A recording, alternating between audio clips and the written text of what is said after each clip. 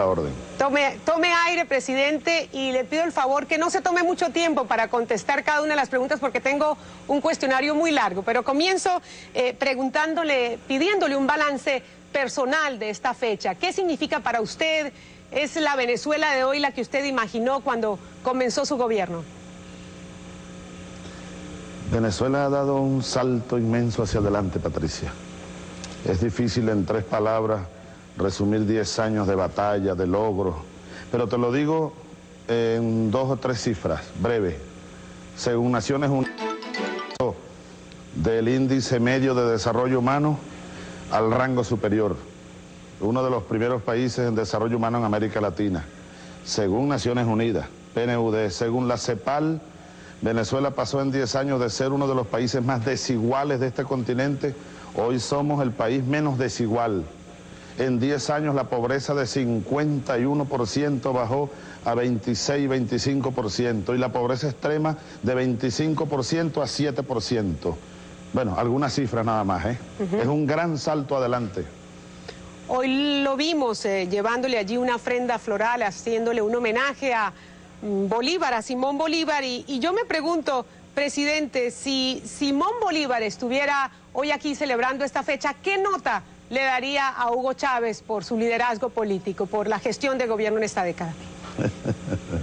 es una buena pregunta, oye, pensar por Bolívar. Yo lo que te puedo decir es que Bolívar era muy exigente. Yo que soy un soldado y soldado bolivariano, he leído mucho a Bolívar. Y tú sabes que él era muy exigente. En una ocasión lanzó una frase, de los hombres hay que, hay que exigir mucho para que den un poco. Yo creo que Bolívar me pondría, no creo que me reprobaría, pero creo que me pondría un entre de 0 a un 55 puntos aproximadamente. ¿Y de un total de qué? ¿100? ¿Cómo? ¿De 0 a 100 le daría 55 o de 0 a qué? ¿Cuál sería el, margen? La nota más alta sería de cuál? 0, 100 puntos. Creo que me pondría un 55 y yo estaría conforme. Bueno, bueno, bastante, bastante honesta la, la respuesta, presidente. Hablemos de, del ALBA. Hoy hubo una reunión extraordinaria. Usted promueve el ALBA como un mecanismo de alianza regional, un modelo alternativo. Pero muchos se preguntan cuáles son las verdaderas perspectivas comerciales para Venezuela, porque sus opositores dicen que este es un mecanismo, es una excusa para que Venezuela esté por el mundo regalando dinero.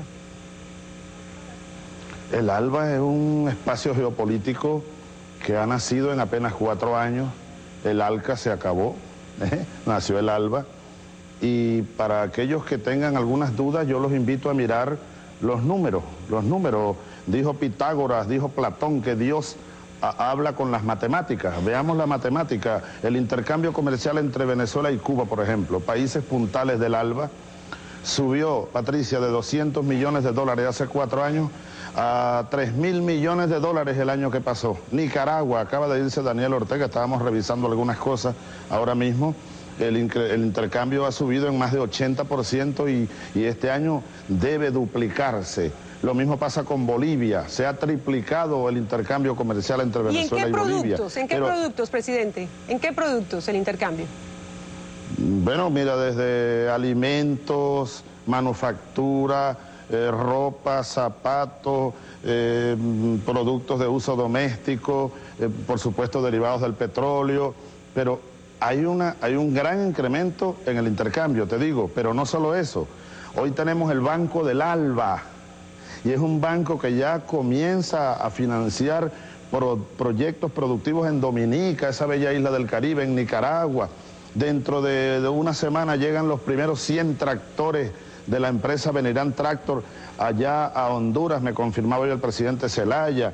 Eh, tenemos ahora un fondo de desarrollo del ALBA. Hoy firmamos la conformación de una empresa gran nacional para producción de alimentos. Es un proyecto estratégico, social. La alfabetización en Bolivia eh, fue un éxito entre Cuba y Venezuela y el ALBA. Eh, Bolivia hoy es territorio libre de analfabetismo después de Cuba y Venezuela. Son cosas muy, muy concretas y estamos trabajando con mucho vigor. Presidente, hoy se declaró un día feriado nacional, una decisión que ha desatado la crítica de la oposición y lo invito a que escuche la declaración de uno de los uh, líderes opositores, el exalcalde del Chacao, Leopoldo López, para que usted reaccione ante estas uh, declaraciones. Eh, en 10 años Venezuela pasó de ser un país promedio eh, en materia de seguridad ciudadana a convertirse en el país más violento de toda América Latina. Y Caracas se convirtió en la ciudad más violenta de todo el planeta. Estas eran las declaraciones sobre inseguridad, teníamos eh, unas declaraciones sobre el feriado, pero sabemos que hubo esta declaración de un feriado por el décimo aniversario y muchos se preguntan ¿Por qué la imposición de sanciones a las personas que no acaten el feriado? Porque esto le da más municiones a quienes dicen que usted es un líder autoritario. Bueno, ¿de dónde saca nadie que vamos a sancionar a quienes no acaten? es una cosa medio ridícula. ¿eh? En verdad hoy ha sido un día festivo en todo el país. Los que no quieran festejar, que no festejen. ¿Y no habrá sanciones? ¿No habrá sanciones? Ninguna sanción. Venezuela es el país más libre. Yo creo que difícilmente, Patricia, haya un país con mayores libertades que Venezuela. difícilmente ahora. Esta oposición, que no tiene ninguna, eh, difícilmente tienen algo, algo serio que decir, bueno, dicen cosas como esta. no, encuentran, no encuentran ya qué inventar para tratar de, de atacar un gobierno que actúa en el marco de la Constitución y las leyes. Eso que dice este caballero, de que Venezuela es el país o Caracas la capital más insegura del mundo. Pues es una barbaridad que no se la cree ni él mismo. Pero bueno, esa es la oposición. Ahora yo te digo, tú me preguntabas que cuántos puntos me pondría Bolívar. Te dije que 55. Si tú me le preguntas al pueblo venezolano, eh, Chávez, mi gobierno tiene una aprobación en 10 años de batalla de 70% del apoyo popular. Anda, pregunta tú cuánto tiene la oposición. Tú sumas todos los partidos de la oposición y no llegan a 15%, Patricia. Súmalos todos. Eh, presidente, volviendo al tema del feriado, eh, los que fueron convocados y eran eh, funcionarios públicos dicen que los convocaron de forma obligatoria. ¿Es eso cierto? Eso es absolutamente falso. Yo te digo, a mí me parece tan irrelevante esa pregunta o ese tema que no sé si te invito yo a pasar a otro de más seriedad. Bueno, pasemos entonces a sus logros sociales. Nadie duda de sus programas sociales que han disminuido la pobreza, que han llegado con programas de salud, de educación a los más pobres. La pregunta que muchos se hacen, presidente, es si estos programas son sostenibles en el tiempo. ¿Por cuánto tiempo puede subsistir este Estado benefactor y asistencialista? En primer lugar, es una responsabilidad de todo gobierno atender las necesidades de un pueblo. ¿Alguien puede criticarme por eso? Ah, que los gobiernos neoliberales se supeditaron al Fondo Monetario Internacional y excluyeron a los pueblos y echaron a los pobres o echaron a la mayoría de sus pueblos a la pobreza, esa es otra cosa. A mí me llaman populista porque estoy cumpliendo con un mandato de la Constitución, educación gratuita y de calidad para todos y para trascender el estado burocrático que aquí recibimos, ineficiente y corrupto, hemos transformado el Estado, pero hemos creado, y está en la Constitución y en las leyes, bueno, eh, figuras administrativas alternativas, complementarias, que son las misiones, las misiones educativas, eh, las misiones de salud como barrio adentro. ¿Tú sabes cuántos médicos había por cada 100.000 habitantes en Venezuela hace 10 años? Había 20 médicos. Hoy hay 65 médicos por cada 100.000 eh, personas en Venezuela. Eh, en fin, la cobertura de salud llega a 95% de la población totalmente gratuito. Eso no llegaba ni al 25% hace 10 años. que si son sustentables, claro que son sustentables. Con los precios del petróleo como están. Con los precios del petróleo como están, ¿hasta, hasta cuándo eh, pueden eh, sostener este nivel de gastos, presidente? Yo te digo una cosa, Patricia.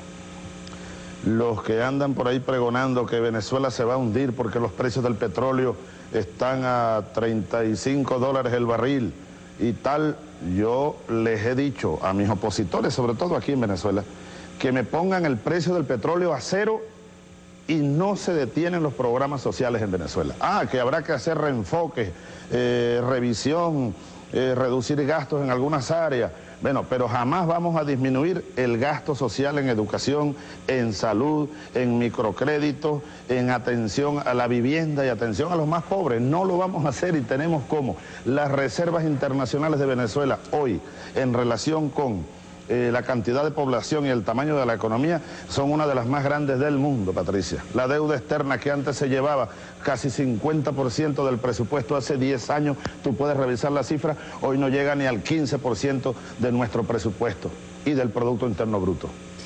Presidente, eh, hay quienes dicen que de todos modos, si el precio del petróleo sigue bajando, se estarían contemplando una devaluación, por ejemplo. ¿Qué nos puede decir al respecto? No tenemos hasta ahora ninguna necesidad de devaluar la moneda. Hemos tomado un conjunto de medidas. Hemos comenzado el año al ritmo normal, al ritmo necesario de desembolso en base al presupuesto. Eh, hemos incrementado la recaudación impositiva. Te voy a poner un ejemplo. En enero, anoche me informaba el jefe de eh, director de los impuestos del CENIAT, que es nuestro órgano recolector de impuestos la meta para el, mes de enero era de 4 mil millones de bolívares fuertes y llegamos a casi 6 mil millones de bolívares fuertes. Eh, tenemos unas reservas internacionales, ya te dije, de las más altas del mundo. Tenemos el Fondo de Desarrollo Nacional, tenemos el Fondo Chino-Venezolano, el Fondo Iraní-Venezolano. No tenemos necesidad de devaluar la moneda. Ah, bueno, te hablo, te hablo en el corto plazo. el, proceso económico es un proceso de mediano y largo plazo. No vamos a crear nuevos impuestos. ¿Eh? ¿No habrá aumento al impuesto al IVA? Nosotros tenemos. ¿No habrá aumento al IVA? ¿Cómo? ¿No habrá aumento al IVA ni impuesto al débito bancario? Te digo que en el corto plazo, yo no, yo no te puedo decir absolutamente que no, porque todos los procesos políticos y económicos son, bueno, son eso, unos procesos. Pero en este momento, en el corto plazo, aun cuando el precio del petróleo se mantenga al ritmo que está, nosotros no tenemos previsto ni aumentar impuestos, ni como me dijiste, devaluar el Bolívar. Tenemos, en fin, cómo enfrentar esta situación. Lamentablemente hay otros países que no tienen, como Estados Unidos.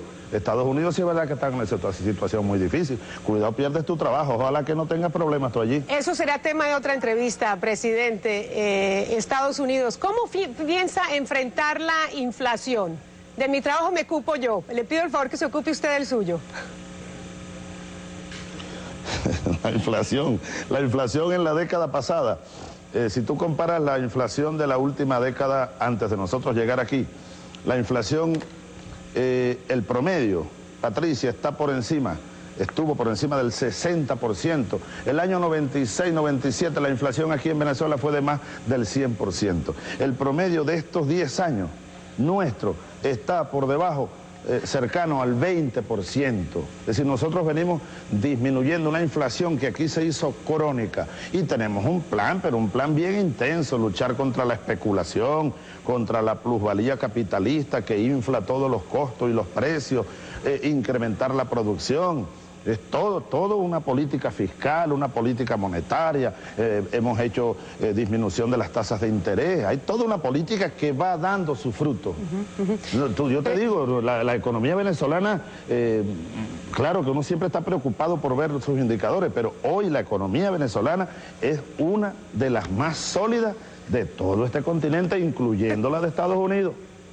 Y hablando de Estados Unidos, presidente, usted seguramente ha escuchado al nuevo presidente de Estados Unidos anunciar eh, grandes planes para desarrollar energía alternativa y terminar con la dependencia del petróleo.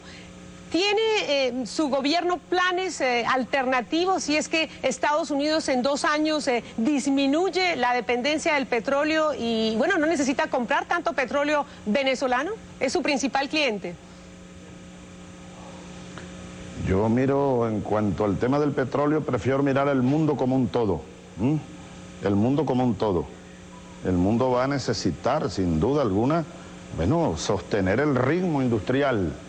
El incremento en el consumo del petróleo es inevitable. Yo, a mí me parece que al presidente Obama pudieran estarle metiendo gato por liebre. Es posible que él que está llegando no, no tenga muchos conocimientos, posible, del tema energético. Yo no sé cómo él va a, lograr lo que ha anunciado, pero difícilmente Estados Unidos va a poder disminuir su dependencia del, petróleo, tanto el que ellos producen como el petróleo importado. Yo lo que creo es que deberíamos todos ponernos de acuerdo, de respetar nuestra soberanía. Nosotros tenemos en Estados Unidos siete refinerías tú lo sabes. Nosotros tenemos 12 eh, mil, cerca de 12 mil estaciones de combustible. A lo mejor eh, muchas veces tú tienes un vehículo, seguramente vas a poner eh, combustible y es combustible venezolano. Nosotros le damos empleo a miles de trabajadores en Estados Unidos. Nosotros estamos ayudando a, a cientos de miles de familias muy pobres en Estados Unidos con el programa del Heating Oil. Ahora, que impulsemos proyectos alternativos, fuentes alternativas de energía, me parece fenomenal. Ojalá podamos acordar con Estados Unidos el impulso de lo que nosotros estamos haciendo aquí, la energía eólica, la energía solar, la energía de las corrientes marinas. Todo eso a mí me parece maravilloso, pero difícilmente en el corto plazo eh, Estados Unidos va a poder desprenderse del, petróleo que necesita como, como, como el aire, como el oxígeno para vivir. ¿Cómo em, anticipa sería un próximo encuentro entre usted y el presidente Obama en Trinidad y Tobago, que parece que va a asistir a la Cumbre de las Américas, presidente? Bueno, esperemos a ver. Yo, tú sabes que hay un dicho por aquí que dice, lo cortés no quita lo valiente. Eh, yo cuando conocí al presidente, al expresidente Bush, fue precisamente en la Cumbre de las Américas en Canadá por allá por el año 2000. Y recuerdo que nos dimos la mano y conversamos un rato eh, con el presidente Cardoso, estaba ahí, por cierto, haciendo de intérprete. Y yo estoy dispuesto a conversar con el presidente de los Estados Unidos. Ojalá, ojalá, lo he dicho, podamos restituir las relaciones al mismo nivel, al menos, eh, en que las teníamos con, con el gobierno Clinton. Yo conversé con Clinton en distintas ocasiones con su secretaria de Estado, hasta por teléfono hablamos en algunas ocasiones con el expresidente Clinton. Eh, ojalá podamos eh, iniciar un nuevo periodo de respeto y de relaciones que sean constructivas. Eh, yo tengo em, fe en que eso pueda ser posible, pero dependerá sobre todo de los Estados Unidos, la actitud del presidente, de su secretaria de Estado y de su gobierno. Nosotros no aceptaremos irrespetos de nadie. Queremos respeto y, dignidad, y no solo para nosotros, para, para, la América Latina, para todos nuestros pueblos, para todos estos, estos países, estos presidentes como Evo Morales, Daniel Ortega para todos los países de América Latina. Ojalá los Estados Unidos, como dice Lula, lo dijo aquí en Maracaibo, Venezuela, hace dos semanas atrás, ojalá Obama tenga otra mirada hacia la América Latina. Pasemos al tema de política interna en, Venezuela. Presidente, de cara a este próximo referendo, quisiera saber eh, cuáles son ah, las dos opciones, cuáles son los dos panoramas, si Hugo Chávez, o bueno, si pierde, si pierde la enmienda constitucional que usted apoya, o si gana. Bueno, sencillito. Si nosotros perdemos, sencillamente perdemos. Yo soy, estoy, soy un presidente de la democracia, estoy subordinado al mandato constitucional, subordinado a la decisión popular. Si nosotros perdemos el referéndum, bueno, sencillamente a mí me quedan cuatro años más de gobierno, me prepararía para entregar el gobierno el 2 de febrero dentro de cuatro años exactamente. ¿No habría entonces otra enmienda constitucional para modificar la Constitución? Hasta aquí. Que yo tenga pensado alguna otra eh, posibilidad, no lo creo. En primer lugar porque me lo dice mi corazón y me lo dice mi olfato político que vamos a ganar ese referéndum. Eh, lo dicen casi todas las encuestas, pero en todo caso, eh, como tú dices, bueno, siempre hay la posibilidad de ganar o perder. ¿No? En este momento yo esa, pregunta no te la puedo responder con absoluta certeza. ¿verdad? Porque quedan cuatro años, así como por delante habría la posibilidad de un referéndum revocatorio. Yo pudiera irme de aquí, tú sabes que el único país donde hay referéndum revocatorio para presidente en todo este continente es en Venezuela. Y el año que viene, dentro de un año, pudiera la oposición convocar un referéndum revocatorio y si lo ganan yo me voy, Patricia. Yo no tengo problema, ¿eh? no tengo problema en cumplir la constitución, el mandato de las leyes y la decisión de la mayoría de los venezolanos. Yo soy un demócrata. Pero al decirme que no me puede contestar esa pregunta con absoluta certeza, es que puede haber una posibilidad de que exista otra figura jurídica para proponer esta enmienda de nuevo. Bueno, si tú, claro, tú no tienes por qué conocer nuestra constitución, pero te, te explico te explico. En esto yo no he pensado, tú me estás obligando, me estás poniendo pues a pensar en esto. Pero en nuestra constitución aparecen distintas formas para, hacer cambios. Hay una asamblea constituyente, aquí pudiera convocarse, alguien pudiera convocar, incluso algunos eh, dirigentes de oposición han estado diciendo desde el año pasado que había, habría que convocar una asamblea constituyente una asamblea constituyente la pudiera convocar el pueblo recogiendo firmas y habría que ir a una asamblea constituyente. Una asamblea constituyente puede cambiar toda la constitución, puede decir, hacer una nueva constitución, como lo hicimos hace una década. Eh, pudiera haber eh, la enmienda, la enmienda, por ejemplo, eh, en la Constitución no, aparecen, no aparece ningún límite en cuanto a la cantidad de veces que se pueda intentar una enmienda en un periodo constitucional. Así que tú puedes intentarlo este año eh, si el pueblo insiste y recogen firmas y se cumplen los mandatos de la ley, pudiera haber una por año. Es decir, no hay límites al respecto a la voluntad popular. Aquí hay democracia plena, Patricia, hay democracia plena y es una de las cosas que ojalá todo el mundo entienda y ojalá vinieran aquí a mirar lo que es una verdadera democracia donde se impone la voluntad de las mayorías. Presidente, nos quedan siete minutos, así que voy a avanzar rápidamente en otros temas, pero para finalizar este, eh, ¿ya tiene Hugo Chávez un heredero? ¿Cuál sería? Un heredero. Sí, alguien. Por ahí han dicho que no, no, no, yo no tengo heredero. Más bien yo he pedido eh, porque por favor no se metan con mi hija, una de mis hijas que se llama María. No, no, no, yo le estoy hablando de un este heredero político, un heredero que pudiera ser el próximo candidato presidencial del eh, PSV. En primer lugar te digo, en primer lugar te digo, en este momento no tengo, eh, no tengo heredero yo creo que nosotros vamos a ganar el referéndum del 15 de febrero y creo, si Dios lo permite y me da vida y salud, bueno, que yo voy a ser candidato presidencial en el 2012. Es lo que creo hasta ahora. Vamos a ver qué pasa.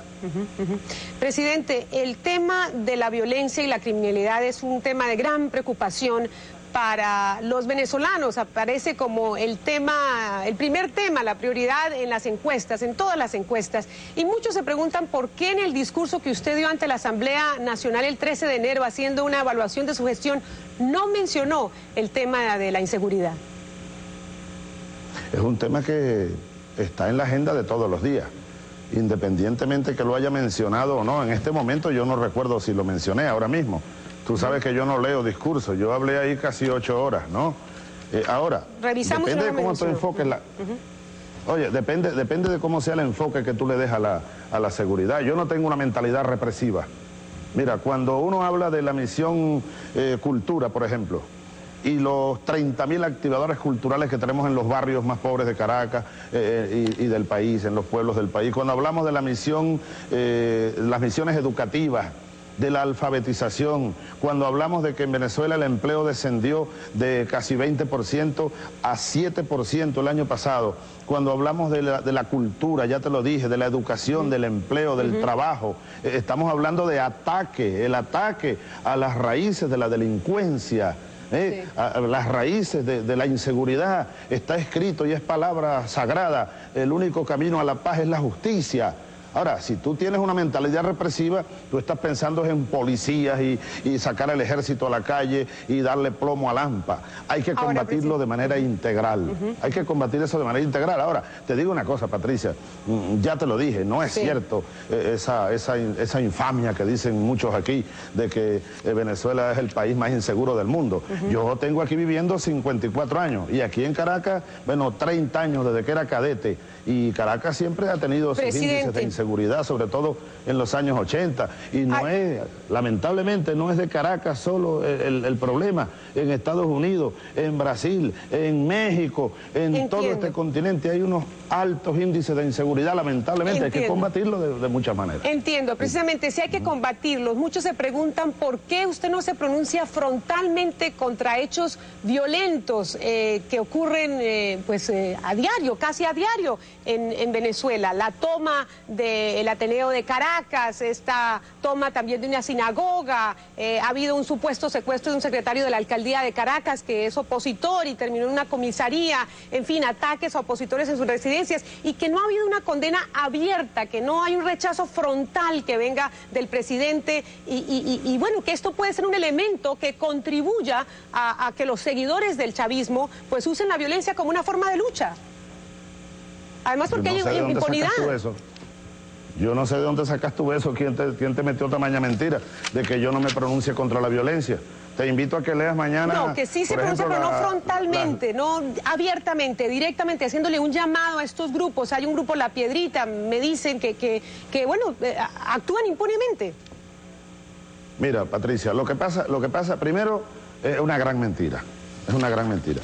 Eh, yo he repetido una y cien veces eh, que condeno como condeno abiertamente cualquier forma de violencia. Ahora, aquí lo que hay es un chantaje tremendo de algunos medios de comunicación, bueno, que son propiedad de la burguesía, y por ejemplo, el tema este del asalto, así llamado a la sinagoga, nosotros salimos a condenarlo desde el ministro del Interior, eh, el vicepresidente de la República, y yo me he sumado, por supuesto, al rechazo a eso. Ahora, ¿qué ocurre? Que aquí hay un laboratorio que fabrica, no todo, pero lo fabrica, hechos de violencia y de inmediato apenas terminaron de ocurrir, de una vez señalan al gobierno, la televisión, la prensa, la radio, bueno, y crean la matriz de opinión. Yo no voy a caer en un chantaje de estar diciendo de una vez que, bueno, el grupo tal, ¿por qué? Porque no tenemos pruebas. El caso de la sinagoga es condenable y lo condeno.